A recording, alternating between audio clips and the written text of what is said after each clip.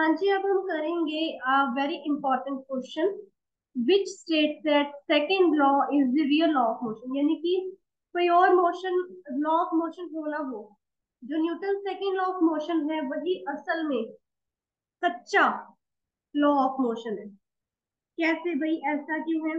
भाई, सबसे पहले तो ये देखिए, जो सेकेंड लॉ ऑफ़ मोशन है, हमें बताता क्या है? It states that force is equal to product of mass and acceleration मान लीजिए ये फोर्स हमने अप्लाई नहीं की। एक्सटर्नल फोर्स अगर ज़ीरो हो तो हमारे पास mass times acceleration zero mass times acceleration जो है ज़ीरो हो जाएगा।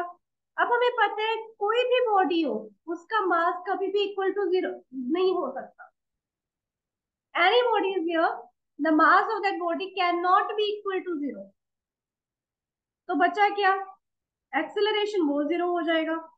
अब ये सीधी सी बात है, अगर फोर्स ही नहीं अप्लाई करेंगे तो एक्सेलरेशन कैसे होगी? है ना? That means due to the absence of any external force जो बॉडी है, वो रेस्ट फ्री रहेगी। और अगर कोई बॉडी यूनिफॉर्म मोशन में है, वो तब तक मूव करती रहेगी along the same straight path जब तक क्या है, हमारे पास एक्सटर्नल फोर्स है। तो ये तो फ़र्स्ट लॉ ऑफ़ मोशन बताता है। लेकिन इसको इसको मतलब मैथमेटिकली प्रूव कौन कर रहा है? सेकेंड लॉ ऑफ़ मोशन तो इस पॉइंट पे हम ये कह सकते हैं कि first law of motion is contained in the second law जो फ़र्स्ट लॉ ऑफ़ मोशन है, वो सेकेंड लॉ के बीच में ही या उसके अंदर ही के इसका पार्ट बन के आते हैं अब ये होगी इसकी बात अब हमने कहा ये real law of motion that mean first law और सेकेंड लॉ तो एक ही बात बोल रहे थर्ड लॉ ऑफ़ मोशन क्या कह रहे हैं क्या वो रियल लॉ ऑफ़ मोशन नहीं है। अब हम प्रूव करेंगे to prove third law of motion is contained in the second law यानी कि जो थर्ड लॉ ऑफ़ मोशन है, वो भी हमें सेकेंड लॉ ऑफ़ मोशन के बारे में बता रहे हैं। कैसे? मान लीजिए हमारे पास एक आइसोलेटेड सिस्टम है।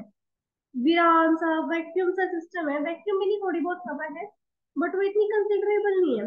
उसमें मेरे पास दो बॉडीज हैं। एक है बॉडी ए और एक है बॉडी बी मान लीजिए ये जो दोनों बॉडीज हैं, एक दूसरे के साथ म्यूचुअली इंटरेक्ट करती हैं, यानी कि ये इसकी तरफ़ आती है इसकी तरफ़ आती है और ये आपस में किस तरह से म्यूचुअली इंटरेक्ट करती है। जैसे ही ये म्यूचुअली आपस में इंटरेक्ट करती है, जो ए है बी के ऊपर फोर्स लगा रहा है। ए के द्वारा बी के ऊपर फोर्स लगाई जा रही है बी के ऊपर फोर्स लग रही है ए की और ए के ऊपर फोर्स लग रही है बी की।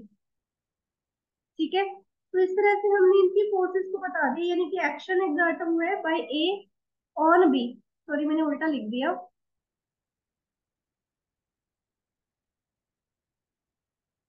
हाँ जी।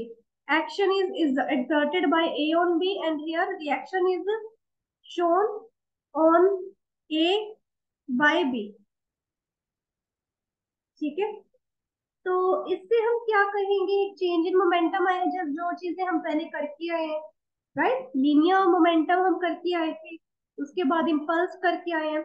उसमें हमने क्या किया कि चेंज इन मोमेंटम आता है जब ऐसा कुछ होता है। तो वो चेंज इन मोमेंटम को हम अज्यूम कर लेते हैं P B on D T अब ये पी के पैर में बी का क्या मतलब है? इसका बता रहे हैं कि ए के द्वारा बी के ऊपर क्या है? फोर्स को एक्सर्ट किया गया है। तो इस ए के ऊपर बी के द्वारा फोर्स एक्सर्ट हुई तो उसका चेंज मोमेंटम ये रहा। और अगर रिएक्शन में हम कहें कि आ, हमारे पास जो है बी के ऊपर ए के द्वारा फोर्स एक्सर्ट की गई है तो उसका जो चेंज इन मोमेंटम होगा वो ये होगा। है ना? तो अब हम क्या करेंगे? हम यहाँ पे लिख देंगे। एफ़ बी ए हमारे पास है। D P B over D B और एफ़ ए बी हमारे पास क्या है? D P A over D T अब दोनों को एड ऑन कर लेते हैं। ठीक है? एक तो हो गया एफ़ बी ए प्लस दूसरा था हमारे पास ए बी अब इन दोनों को एड ऑन किया तो हमारे पास आ गया D T plus D P A over D T ठीक है?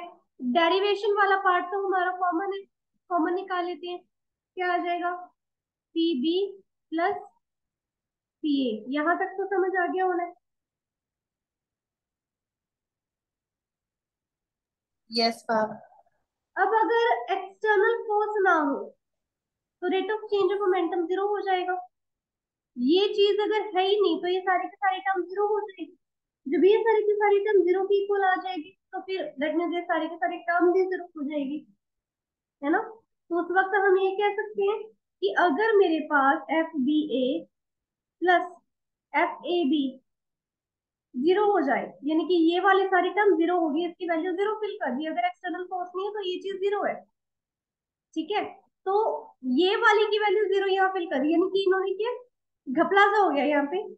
पहले इन्होंने क्या कि अगर एक्सटर्नल फोर्स ना हो, अगर एक्सटर्नल फोर्स अप्लाई ना की जाए तो क्या इस चीज़ की कोई वैल्यू है? ऑब्वियसली नहीं है चेंज इन मोमेंटम कुछ होगा ही नहीं। चेंज इन मोमेंटम ज़ीरो रहेगा। अगर इसकी कुछ वैल्यू तभी यहाँ पे कोई ना कोई वैल्यू आएगी। जब एक्सटर्नल फोर्स एबसेंट है, तब हमारे पास कोई भी चेंज इन मोमेंटम नहीं है। तो जब कोई भी चेंज इन मोमेंटम नहीं है तो हम ये कह देंगे कि ये टर्म ज़ीरो है, ये टर्म जब इसकी इक्वल आएगी तो ज़ीरो हो जाएगी। ठीक है? अब हमारे पास क्या आ जाएगा? F B as equal to minus F A B अब इससे हमारा सेकेंड लॉ मोशन का क्या लेना देना? ये चीज़ क्या होगी? एक्शन और ये क्या होगी? माइनस रिएक्शन है ना? तो हमारे पास कुछ भी नहीं है Newton third law of motion है। तो Newton second law of motion में भी हमने यही की चीज़ कही ना अगर हमारे पास एक्सटर्नल फोर्स ना हो तो हमारे पास क्या रिज़ल्ट आता है? इसमें भी हमारे पास एक्सटर्नल फोर्स अगर ना हो तो हमारे पास ये रिज़ल्ट आ रहा है। दैट मीन्स जो थर्ड लॉ ऑफ़ मोशन है, वो भी सेकेंड लॉ ऑफ़ मोशन से ही बना है। That every action has an equal and opposite reaction. जब एक्शन ही नहीं होगा तो रिएक्शन कहाँ से निकल के आएगा? रिएक्शन ही नहीं होगा तो चेंज मोमेंटम कहाँ से निकल के आएगा? ठीक है? तो first and third laws of motion के कंटेन्ड है इन सेकंड लॉ हम कह सकते हैं कि जो Newton second law of motion है यहाँ पर रियल लॉ ऑफ़ मोशन समझ में आ गया? यस मैम अब आगे टॉपिक करते हैं. Apparent weight of a man in an elevator या in a lift.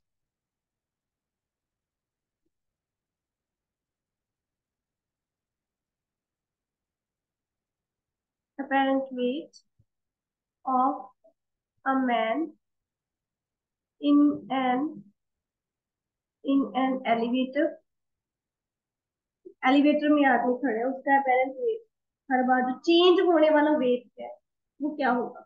मान लीजिए एक आदमी है, ठीक है? उसका है मास एम ये मेरे पास आदमी है, उसके पास एम मास ठीक है? वो क्या है कि वेइंग मशीन पे खड़ा है, जो कि लिफ्ट के अंदर पड़ी है। ये वेइंग मशीन पड़ी है और ये वेइंग मशीन कहाँ पर है? लिफ्ट के अंदर है। ये लिफ्ट है। ठीक है? अब जब वेइंग मशीन पे उसका वे कैलकुलेट होगा, वो कैसे होगा? एक तो आदमी का मास और उसके ऊपर एक्सेलरेशन ड्यू टू ग्रेविटी कितनी लग रही है? है ना? और ये वर्टिकली डाउनवर्ड होगा to the centre of gravity of the man आदमी की भी अपनी सेंटर ऑफ़ ग्रेविटी होती है। सेंटर ऑफ़ ग्रेविटी का मतलब होता है, वो पोजीशन जिसमें कोई भी ऑब्जेक्ट क्या है अपने आप को बैलेंस कर ले। जिसकी मान लो, आपने ऐसे ट्राइंगुलर चीज़ के ऊपर एक प्लैंक रख दिया। तो प्लैंक की सेंटर ऑफ़ ग्रेविटी वो होगी जब वो इसके ऊपर बैलेंस हो जाएगा। आपको हमेशा हमें हमेशा ये लगता है कि मिडल से बैलेंस होगा बट नहीं आगे पीछे से बैलेंस होता है, हमेशा। एक तरफ़ डिस्टेंस हमेशा ज़्यादा होता है लेंथ हमेशा ज़्यादा होती है। वुडन प्लैंक की ठीक है? वो होगी उसकी सेंटर ऑफ़ ग्रेविटी तो मैन की भी सेंटर ऑफ़ ग्रेविटी है, ठीक है? और ये एक्ट करिए वेइंग मशीन के ऊपर और इस तरह से कि वो एक रिएक्शन फोर्स भी ऑपोजिट डायरेक्शन में हमारे पास लग रही है। ऑपोजिट डायरेक्शन में। अब जो वेइंग मशीन है, उसने रिएक्शन आर को मेजर कर लिया, है ना?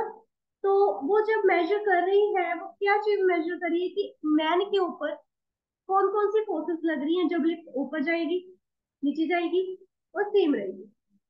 सबसे पहले हम बात करेंगे जब हमारी जो लिफ्ट है ऊपर की तरफ़ जाएगी। ऊपर की तरफ़ जाएगी यानी कि एक्सेलरेशन जो है अपवर्ड होगी। एक्सेलरेशन हमारी होगी इस तरह से अपवर्ड जब इस तरह से अपवर्ड एक्सेलरेशन होगी हमारे पास, उस वक्त हमें क्या चीज़ें देखने को मिलेगी? जो नेट अपवर्ड फोर्स होगी, पहले हम पॉइंट बना लेते हैं। जब when lift moves upwards with acceleration a, जब वो अपवर्ड डायरेक्शन में मूव करती है तो उस वक्त हमारी जो नेट फोर्स आएगी आर्मी की, वो क्या आएगी? देखो रिएक्शन लग रही है ऊपर की तरफ़। एक्सेलरेशन के ऊपर की तरफ़। तो ये चीज़ भारी हो रही है। ऑब्वियसली ये चीज़ इसके इसको होल्ड नहीं कर पाएगी। वेट का मतलब ये है एम इंटू जी का मतलब ये कि इसको नीचे की तरफ़ खींचती रहे खींचती रहे। लेकिन एक्सेलरेशन ऊपर की तरफ़ हो रही लिफ्ट ऊपर जा रही है। लिफ्ट के साथ साथ आदमी भी ऊपर जा रहा है। जब आदमी भी ऊपर जा रहा है तो रिएक्शन वाली फोर्स क्या बढ़ती जा रही है? ऊपर की तरफ़ जा रहा है। और ये वाली फोर्स कम होती जा रही है। दैट मीन आर यहाँ पर ग्रेटर देन एम जी आ रहा है हमारे पास। जब R greater than M G आएगा तो आर माइनस एम जी हो जाएगा। Similar to horse and cart problem अब नेट फोर्स हमारे पास की होती है एफ़ एफ़ की क्या वैल्यू होती है? मास इंटू एक्सेलरेशन ये आ गया हमारे पास। एम इंटू जी तो अब हम क्या करेंगे? एम एम वाले एक साइड कर लेंगे। M A plus M G M को कॉमन निकाल लिया ए प्लस जी आ गया हमारे पास। ये हमारा अपरेंट वेट है। कब? जब लिफ्ट अपवर्ड डायरेक्शन में एक्सेलरेट करेगी। अब अपवर्ड डायरेक्शन में एक्सेलरेट करेगी तो जो आदमी का अपरेंट वेट है, वो एक्चुअल में इंक्रीज होना शुरू होगा। इंक्रीज हो क्यों होना शुरू करेगा? नो no डाउट हमारे पास जो रिएक्शन है, वो बढ़ के आ रही थी लिफ्ट के साथ। लेकिन धरती फिर भी इसको बहुत ज़ोर लगा के नीचे की तरफ़ खींचने की कोशिश कर रही है। जैसे नीचे की तरफ़ खींचने की कोशिश करिए डाउनवर्ड डायरेक्शन में उसका वेट हल्का सा बढ़ना शुरू होगा नॉर्मल वेट से। रिएक्शन उससे भी ज़्यादा लगेगी। लेकिन जो नॉर्मल वेट है, मान लो आदमी का पचास किलो वेट है तो डाउनवर्ड डायरेक्शन में एक फोर्स लगने के कारण उसका फिफ्टी पॉइंट फाइव ज़ीरो भी हो सकता है। ठीक है? पाँच सौ ग्राम बढ़ जाएगा, या फिर दो सौ ग्राम बढ़ सकता है। ठीक है? ऐसा कुछ हो सकता है। ओके सेकंड कंडीशन करते हैं। सेकंड कंडीशन क्या है? जब हमारी लिफ्ट जो है डाउनवर्ड जा रही है। अब अगेन वो एक वेइंग स्केल के ऊपर खड़े आदमी। जब वो वेइंग स्केल के ऊपर खड़ा है सेम उसके ऊपर क्या है? सेंटर ऑफ़ ग्रेविटी की फोर्स लग रही है एमजी लग रही है अपवर्ड डायरेक्शन में हमारे पास सेम क्या है? रिएक्शन लग रही है। लेकिन अब इस केस में क्या होगा? हमारे पास जो एक्सेलरेशन है वो डाउनवर्ड जा रही जब एक्सेलरेशन डाउनवर्ड होगी जब नीचे की तरफ़ जाएगी, तब आदमी के वेट में क्या चेंज आएगा? When lift moves downwards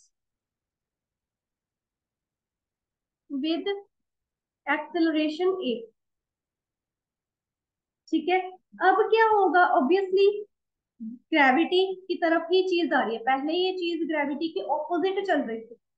जिस कारण ये नेगेटिव आ गया। अब ये चीज़ के ग्रेविटी के अकॉर्डिंग चल रही है। अब यहाँ पर हम ये कहने की ये चीज़ पॉजिटिव है।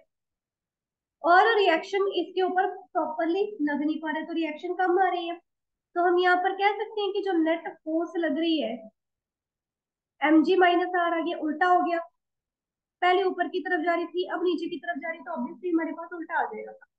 नेट फोर्स हमें पता है एम ए इक्वल होता है।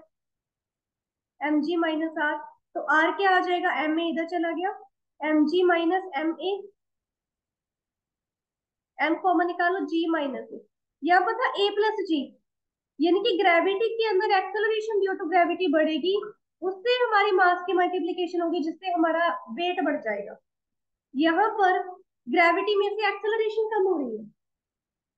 जब एक्सेलरेशन कम हो रही है, उसके साथ वो मतलब मेन जो टोटल वेट है, उससे कम हो रहा है हमारा काम। तो इसमें क्या होगा? जब लिफ्ट नीचे की तरफ़ जाएगी, जो एपरेंट वेट होगा मैन का, वो डिक्रीज हो जाएगा। मान लो पचास पॉइंट पचास किलो है तो forty nine point eight zero zero कुछ हो सकता है। दो सौ ग्राम का। या सौ ग्राम का या पचास ग्राम का या दस ग्राम का ही डिक्रीज क्यों ना हो? वो आएगा। वैसे सौ, दो सौ का फ़र्क नहीं पड़ता, हमेशा दो से तीन ग्राम मैक्सिमम होता है लिफ्ट के अंदर। वो तो जब आप मोन पे जाओगे ना, तब हमारा किलोज में फ़र्क पड़ जाता है। ठीक है? या फिर आप रॉकेट पे जा रहे हो रॉकेट पे बैठ के, और वापिस आ रहे हो, ऊपर से नीचे आ रहे हो, तब हमारा मैक्सिमम फ़र्क पड़ता है एक से दो किलो का, या तीन से चार किलो का। इसमें तो हमारे पास एक दो ग्राम का फ़र्क पड़ना चाहिए। अब नंबर थ्री कंडीशन करते हैं। थर्ड कंडीशन हमारे पास क्या है? अगेन मेरे पास एक लिफ्ट है, ठीक है? उस बीइंग स्केल पे आदमी बैठा है, खड़ा है सॉरी बैठा नहीं है। एमजी लग रही है सेंटर ऑफ़ ग्रेविटी है यहाँ पर रिएक्शन ऑपोजिट लगेगी। लेकिन यहाँ पर हमारी लिफ्ट मूव ही नहीं कर रही है। एक्सेलरेशन ही ज़ीरो है। अब क्या करेंगे? एक्सेलरेशन ज़ीरो है तो ज़ीरो है। When lift is at rest. When lift is at rest. Or moving with uniform velocity पहले वाले में यूनिफॉर्म वेलोसिटी नहीं मेंशन था। यूनिफॉर्म वेलोसिटी से मूव कर रही है इधर अपवर्ड और डाउनवर्ड चाहे अपवर्ड मूव करिए, चाहे डाउनवर्ड लेकिन उस वक्त उसकी यूनिफॉर्म वेलोसिटी है। देखिए, अगर यूनिफॉर्म वेलोसिटी होगी दैट मीन्स वेलोसिटी कांस्टेंट है हमारे पास। जब वेलोसिटी कांस्टेंट आ जाएगी तो एक्सेलरेशन अपने आप ज़ीरो आ जाएगा। समझ में आई? तो उस वक्त हमारे मैन की नेट फोर्स क्या होगी? मैन की नेट फोर्स क्या होगी? मान लीजिए आर माइनस एम जी ले लेते हैं, जो हमारे पास कॉमन होता है। आर माइनस एम जी अब इसके ऊपर ना तो acceleration due to sorry R minus M G net force हमारे पास चल रही है क्यों? एक्सेलरेशन इज़ ज़ीरो है। आर माइनस एम जी तो आर माइनस एम जी हमारे पास क्या हो गया? ज़ीरो के इक्वल आ गया। ठीक है? दैट मीन्स आर जो है हमारे पास एम जी के इक्वल आ जाएगा। आर हमें क्या बताता है? अपरेंट वेट जो चेंज हो गया। वेट का वेट में जो चेंज आया, इसमें ये बताया इसमें डिक्रीज हो गया, इसमें इंक्रीज हो गया। और एम जी हमें क्या बताता है?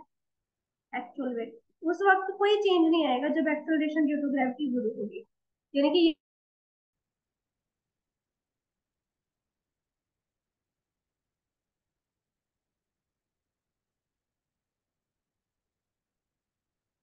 हाँ जी, मैं ये बोल रही थी, या तो लिफ्ट अपवर्ड डायरेक्शन में मूव करती रहे,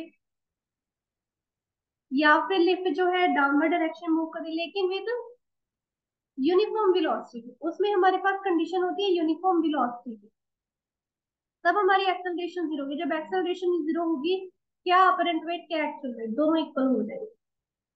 अब हमारे पास एक फोर्थ कंडीशन भी आती है, जो कि क्वाइट डिफरेंट है, जिसको हम यूजुअली मूवीज़ में देखते हैं। वो क्या है? When the lift falls freely. When the lift falls freely. जो सिनेरियोज हमें मूवीज़ में दिखाए जाते हैं, भाई विलन है हीरो के साथ लड़ रहा है, और एकदम से विलन ने क्या है, बाहर निकलते हुए अब भागने की कोशिश की हीरो ने पकड़ लिया, अंदर बॉम्ब है और यहाँ से हीरो हीरो ने क्या रस्सी काट दी अपने आप को? सेक्रीफाइस कर दिया। ठीक है? क्यों काट दी ताकि किसी और को कोई नुकसान ना हो राइट काइंड ऑफ़ ऐसी चीज़ें हमें दिखाई जाती है। तो उस वक्त क्या जब रस्सी काट दी तो लिफ्ट को पकड़ने वाला तो कोई नहीं। नई लिफ्ट के ऊपर कोई ज़ोर लगाया गया, उसको धक्का लगाया गया, नीचे की तरफ़ फेंकने के लिए। केबल कटी है। यहाँ पर जो हमारी केबल होती है वो या तो गई, या जानबूझ के काट दी गई है जब ऐसा कुछ हो तो लिफ्ट क्या है will fall freely under gravity. The lift will fall freely under gravity. अब इस केस में एक्सेलरेशन और acceleration due to gravity same हो जाएँगे ऑब्वियसली जितनी एक्सेलरेशन ड्यू टू ग्रेविटी है, उतनी ही अमाउंट ऑफ़ स्पीड से एक्सेलरेशन से वो लिफ्ट के नीचे की तरफ़ जाएगी। तो जब ऐसा होगा, हमारे पास क्या है? आर हमने क्या डाउनवर्ड की तरफ़ जा रही है? जब लिफ्ट नीचे की तरफ़ आ रही थी, तब हमने क्या किया था? एम जी माइनस ए किया था ना? तो जी माइनस ए की जगह पे ए की वैल्यू फिल कर दो। जी माइनस जी ये दोनों कैंसिल आर की वैल्यू ज़ीरो हो गई। आर के apparent weight change in weight zero हो जाएगा। एफरेंट वेट ज़ीरो हो जाएगा। क्योंकि both man and lift are moving क्या है डाउनवर्ड दोनों की सेम एक्सेलरेशन है। तो कोई एक्शन रिएक्शन नहीं हो रही यहाँ पे, अब तो बस जान बताई जा रही है। तो जो उस वक्त क्या होगा, कई बार लिफ्ट इतनी ऊंचाई से गिरती है मूवीज़ में दिखाया जाता है कि आदमी जो है थोड़ा तो ऊपर भी उठने लग जाता है उड़ने से लग जाता है। यहाँ से यहाँ पोजीशन तक पहुँच जाता है। ये क्यों पहुँचते हैं? वेटलेसनेस फील करते हैं वो। कोई उसके ऊपर फोर्स नहीं लग रही है। ठीक है acceleration due to gravity acceleration की इक्वल आ रही है। एपरेंट वेट कुछ नहीं है। तो वक्त क्या है? वो फ्री फॉलिंग की कंडीशन को एक्सपीरियंस कर रहा होता है। तो जब वो ऐसी चीज़ों को एक्सपीरियंस करते हैं, वो वेटलेसनेस एक्सपीरियंस कर रहा होता है कि वो उसका कोई वेट नहीं है। समझ में आई? यस कुछ पूछना तो नहीं नो मैम ये वाला टॉपिक इजी था? बट ये इम्पोर्टेंट बहुत है। इससे बहुत क्वेश्चन बन के आते हैं। ये एपरेंट वेट वाले में। बाकी आपको टॉपिक करवाती हूँ। कंजर्वेशन ऑफ़ लीनियर मोमेंट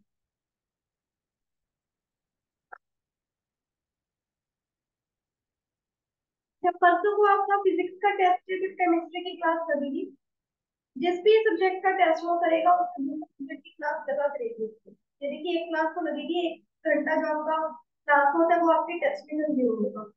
ठीक है? और मैं टॉपिक आपको आफ्टर दी क्लास बता दूँगी कहाँ तक होगा टेस्ट कॉज ऑफ़ मोशन का ही होगा। ये एपरेंट वेट तक कर लो।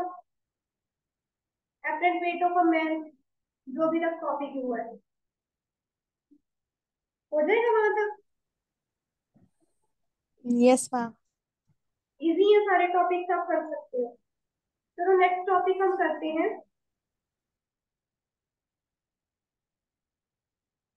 कंजर्वेशन ऑफ़ लीनियर मोमेंटम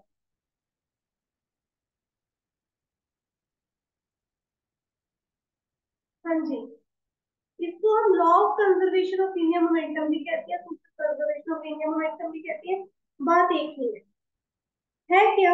ये जो first and third law of motion किए हमने, इन दोनों को मिला के क्या है? हमें फिजिक्स के कुछ इंपॉर्टेंट और फंडामेंटल प्रिंसिपल्स के बारे में पता लगा, जो कि हमें law of conservation of momentum बताते हैं। पहले इसकी स्टेटमेंट करेंगे। इसका क्वेश्चन आता होता है, इसका क्वेश्चन ऐसे बना, बनता है state and derive the law of conservation of momentum ठीक है? तो उसमें आपने अटेम्प्ट कैसे करना? पहले आप स्टेटमेंट की हेडिंग लगा के इसकी स्टेटमेंट लिखोगे जो कि आपको लर्न करनी पड़ेगी। फिर आप इसकी डेरिवेशन करोगे। ठीक है? पहले स्टेटमेंट कर लेते हैं। स्टेटमेंट है when no external force acts on a system of several interacting particles the total linear momentum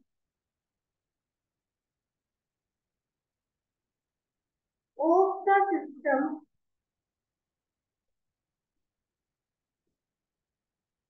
is conserved. The total linear momentum is the vector sum of the linear momentum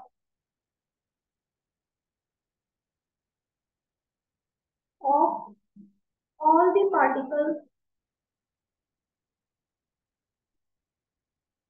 of the system.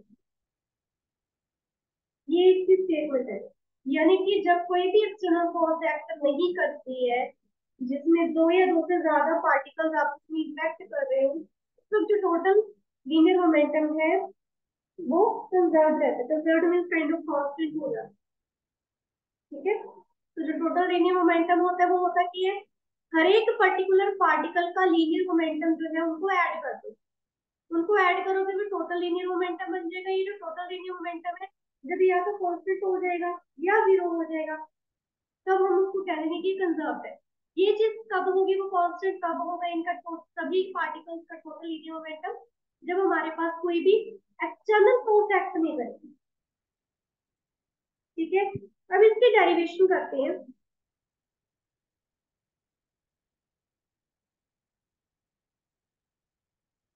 Derivation of law of conservation of momentum ठीक है? अब derivation में हमारे पास क्या आ जाता है? मान लीजिए, इसमें हम क्या है? Newton second law of motion उठा रहे पहले तो हम ऐसे करेंगे, जो फ़र्स्ट इसके दो डेरिवेशन है। ठीक है? दो भी नहीं, तीन है काइंड ऑफ़ ठीक है? तो फ़र्स्ट हम करेंगे from second law from second law of motion ठीक है, ये वाली करनी है जो इससे अगले वाली करवाओगे वो काफ़ी इंपॉर्टेंट है ठीक है? That will be based Newton third law of